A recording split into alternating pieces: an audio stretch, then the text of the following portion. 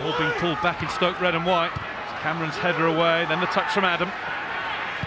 Lowton. Oh, what a goal! That is a stunner from Matthew Lowton. Go on, you can't score from there. My goodness. It's a one in a million.